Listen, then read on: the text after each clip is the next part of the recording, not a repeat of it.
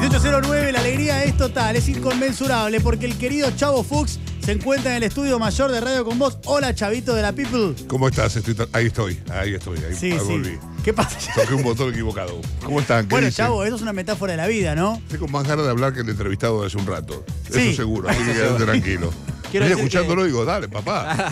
No, dale, metele. pasaron ponele nafta. ¿no? Claro. Hay que- Digo, si no te ganas hablar, no ¿Puedo decir algo hablé, del Chavo? pero- Quiero ser benevolente con Gianotti, el funcionario de gobierno a cargo de la Sí. cuestión eléctrica, eh, porque, eh, claro, arrancó muy temprano, son días álgidos. Sí, muy Uno difícil. tiene que tener cierto manto de piedad La también, gestión ¿no? pública muy Yo venía en el auto y decía, dale, dale.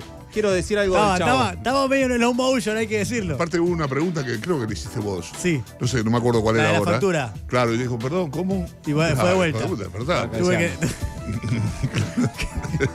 Qué tuve lindo. que repetir. ¿Qué pasa, No, Bebito? quiero decir que el chavo, hoy además de estar muy empilchado, como siempre, huele exquisito. Bueno, vaya, vaya, Sí. Vaya, si yo Olí- también lo iba a comentar. Olí y me di Yo cuenta qué, que eh, qué. ese, ese olor- el olor no hablaba español, no, No. hablaba español, pero ni en pedo. Hablando de mi suegra, a No. que vos conocés. Sí, ah, Sí, bueno, sí, la sí. suegra del chavo es lo más.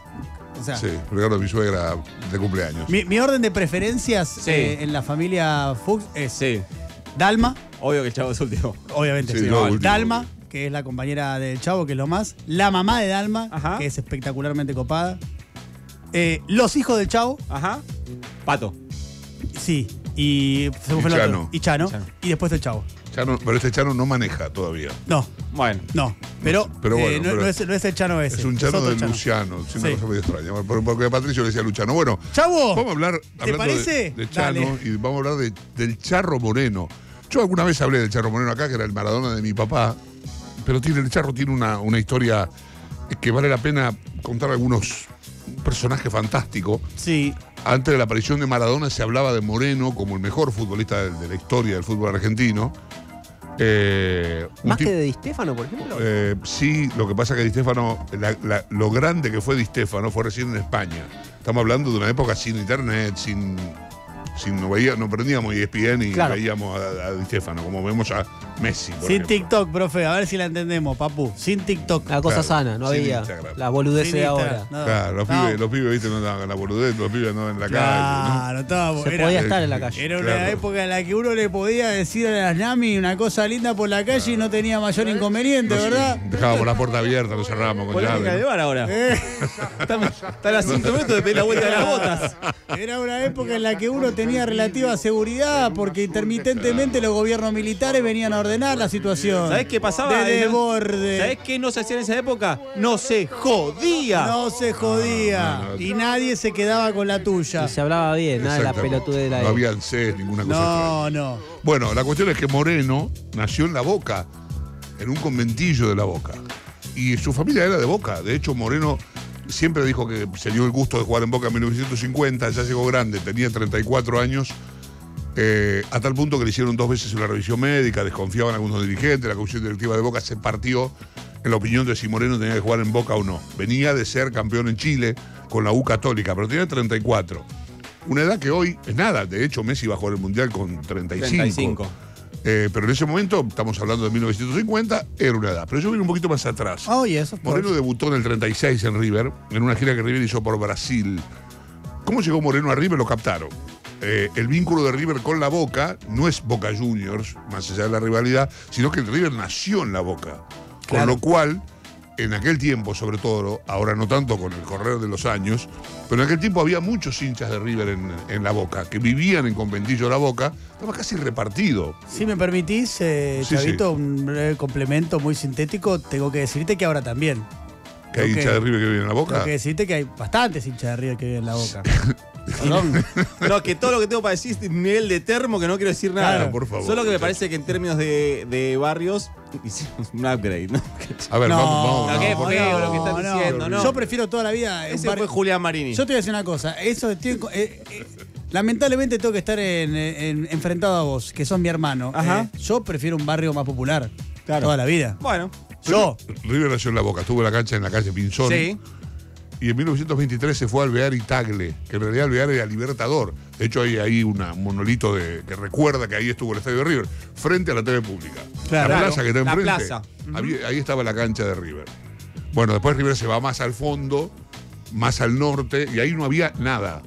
Todo lo que creció, todo lo que ustedes ven, creció alrededor del estadio de River. Sí. Pero no me quiero ir tan lejos. En ese en medio de ese crecimiento, River, como lo hizo a lo largo de toda su historia, trabajó con las divisiones inferiores. Y a fines de los años 20 y principios de los 30 le aparecieron un par de joyas. Una era Adolfo Pedernera, si no le aparecen, la generás, la laburás. El otro era José Manuel Moreno, de él estamos hablando, que tenía 20 años, ponele, en el 36 tenía 20 años Moreno. Y apareció jugando de, de 10, por decirlo de algún modo, y Pedernera de win izquierdo, en el ala izquierda del ataque de River. Juegan De- juntos. Sí, siempre. Lo que pasa es que Pedernera se lastimó la rodilla, se lesionó la rodilla en, en un partido y lo reubicaron, lo pusieron de eh, Muñoz Moreno, Pedernera de 9. Después estaba la Bruna, que era el que hacía los goles. Pero bueno, no me quiero ir tan lejos. Digo, Moreno debuta en la primera River, se afirma, se convierte en una estrella. A Moreno le gustaba mucho la noche Caramba. y poco el entrenamiento. Las estrellas, dormir, decís. qué sé yo. Lo que tenía Moreno. Claro, era astrónomo. Lo que te- claro. Le gustaba mucho dormir. Claro, lo que tenía Moreno era un físico privilegiado para la época. Las fotos de Moreno, a diferencia de la de muchos otros futbolistas, ustedes van a observar que el físico de Moreno es bastante parecido a los jugadores de hoy. Tipo, Mirá, musculoso, y además era una pinta. De hecho, le decían el fanfa en esa época. No era todavía Fanfarrón. el charro, el fanfa. Ah, ok. Fanfarrón. Eh, Los, los jugadores de River tenían. por lo esa- que estás contando y antes y anticipándome lo que vas a contar después, es- puedo decir una vez más, si yo fuera moreno viviría como él. ¿no? Viviríamos Claro. como él, por supuesto que sí. Era una época de grandes lugares para ir a bailar tango. Era como, como lo- lo- después la discoteca. Como el trap, como el trap de hoy, Tal cual. de esa época. Eh, entonces vos tenías en Palermo lo de Hansen. Hace, hace poco. Era como una brellita, te ibas a una brellita, pero con el charro moreno. Este, y habitaban todos los boliches, ¿no? Este, eh, no, me- no me acuerdo, me, encontré- me acordé lo de Hansen, este, el Palais de Glas, todos esos lugares donde se bailaba tango, ahí Moreno era, era el pie de River, te imaginas Claro. que era el tipo. Siempre te cuesta mucho acordarte los nombres de los bigote. Chevol y. Sí. Sí, porque no- como no le gustan, entonces Bueno. no le cuesta. Eh, y la rompía los domingos. Era la época donde decían, che, mirá, Moreno se comía 10 platos de ravioles, pero el de frente también. Y Moreno además jugaba bien. Voy a contar algo de Moreno. Eh, River no estaba haciendo una buena campaña en 1939. Bernabé Ferreira ya se estaba retirando. Eh, el Monumental se inauguró en el 38. Independi- Acá parecía Independiente Mirá, Rafael. en escena. le ganamos ahí. Sí. Mm. Sí, las dos primeras veces que jugó en el Monumental Independiente ganó. Después no ganó nunca más. La- sí. El primer partido, por eso, eso iba. El primer partido oficial que River juega en el Monumental había jugado una inauguración. Cuando juega con Independiente pierde 4 a 2. El equipo del 38 y 39 de Independiente fueron dos de los mejores equipos de toda la historia. Y en el 39 hace un gol de la mata gambeteando a todo el mundo, gana Independiente 3 a 2. En ese partido ya lo habían advertido a, a Moreno un par de semanas antes que aflojara con la joda. Qué lindo. Fueron los dirigentes de la calle y Dijeron, mirá, Charro, vení, vení. Aflojá con la joda. aflojá con la joda. La semana previa al partido con Independiente, que era un partido muy complicado para River, porque Independiente, insisto, venía, de hecho fue campeón, eh, le dijeron, mira, por favor, cuídate, dormí, no tomes vino, no tomes, él tomaba champán, no tomes champán, Un champucito. sí, nada, toma leche, toma leche. Entonces pusieron un tipo ahí medio lo cuidaba, lo vigilaban, Enloquezco. durmió, qué sé yo, llega el partido con Independiente.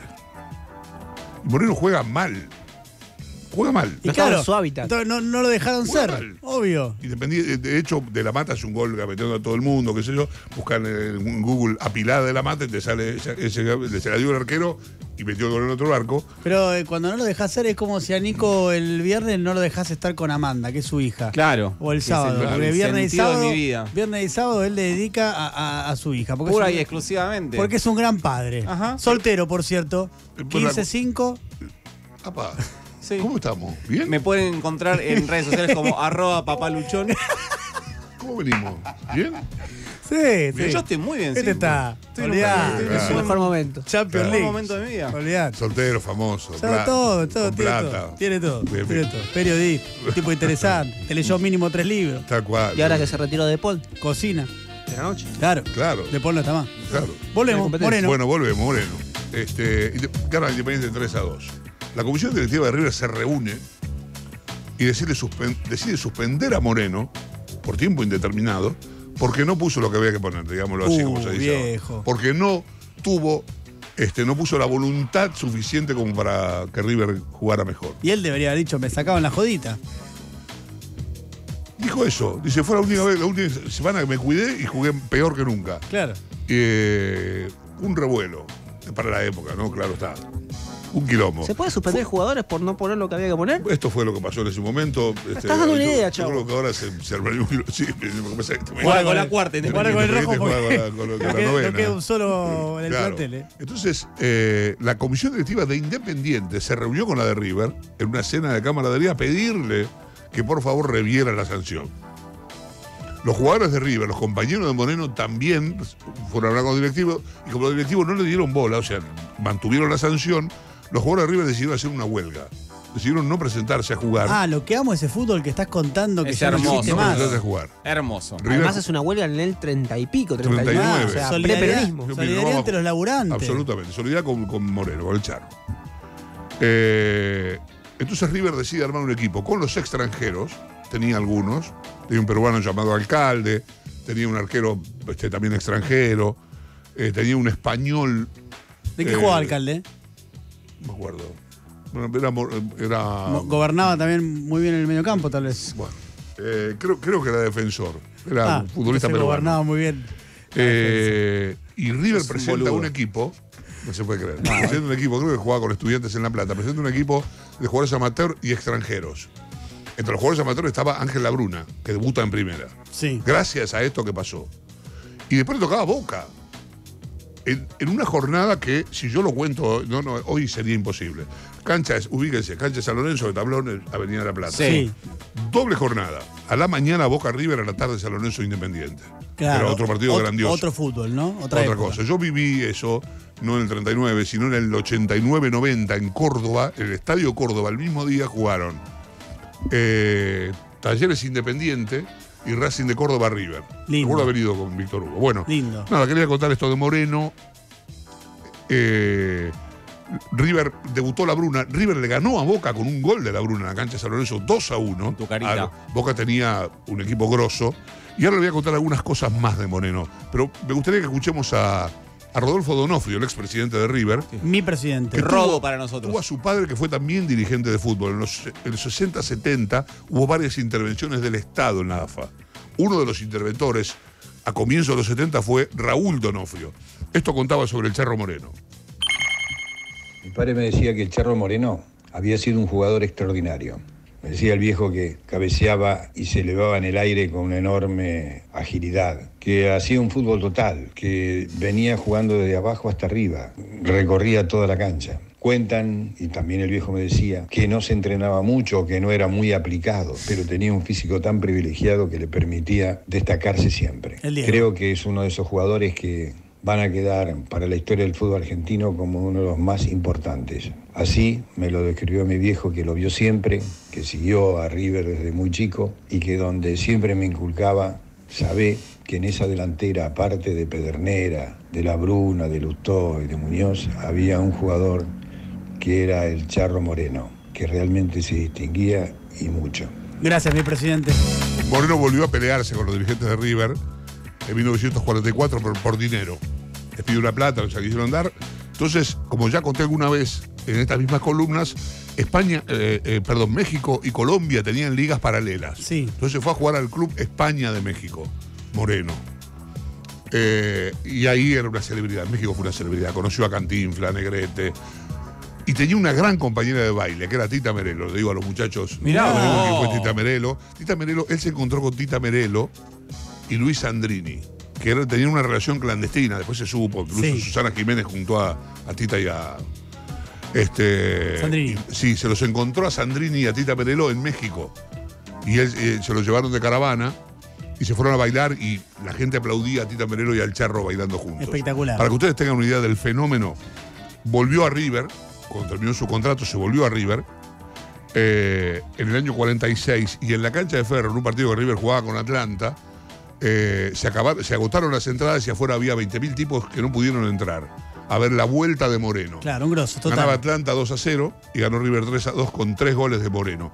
Roberto Marcos Saporiti, seguramente lo habrán escuchado Sí, nombrar, claro. es un- eh, tuitea bastante. Eh, fue técnico de, de Argentinos Juniors, campeón, que desp- después lo llevó Judica, porque él se fue, pero lo tuvo a Moreno enfrente, ya grande. Escuchen esta anécdota de Zaporiti, que en ese momento jugaba en el Deportivo Español. Y bueno, en 1963, cuando yo jugaba en Deportivo Español de Buenos Aires, que hacíamos de local eh, en la cancha de Huracán, un día se programó un entrenamiento con ellos y el Charro Moreno era el técnico de Huracán. No sé qué problema había tenido Rendo, que no, no, no, no podía hacer la práctica y se puso el Charro, de, el charro Moreno de número 8. Me impresionó el físico, la técnica, la pegada, los desplazamientos que hacía. Estamos hablando de un hombre de 48, 50 años, si no me equivoco. Y, y realmente yo pensé, este hombre lo que debe haber jugado. Así que por lo que vi en ese entrenamiento y todos los jugadores de Deportivo Español, me acuerdo que el narigón Bilardo que me habló también maravilla, se quedó impresionado y jugaba en el puesto de él, ¿no? Así que eso es lo que puedo contar de- del Charro Moreno. Un monstruo, Chavito. Moreno jugó tres años más en River, entre el 46 y el 49. Es ídolo, es ídolo, es el mejor extranjero, según dicen, que pisó, que se puso la camiseta de la Católica en Chile. Ya les conté lo de Boca. Volvió a la Católica, jugó en Defensor, en Ferro y en Independiente Medellín. Se retiró a los 44 años. Después fue entrenador. Se murió en agosto. Nació en agosto y se murió en agosto. Se murió el 26 de agosto del 78, poquito después del Mundial, a los 62 años viviendo en Merlo. La cancha de Deportivo Merlo lleva su nombre. Él fue entrenador de Deportivo Merlo en sus últimos años de vida. Y es el quinto mejor jugador sudamericano después de Pelé Maradona. Di Stefano y Garrincha, según considera la- un instituto de estadísticas y demás. Sí. Van a decir, y Messi, Messi no jugó en Sudamérica. Por eso no está. ¿Me decís en cuáles son los cuatro que están arriba? Pelé, Maradona, Di Stefano y Garrincha. Claro. El quinto Bueno, es Moreno. Así que bueno, lo quería recordar porque es un personaje fantástico, un tipo que Sí.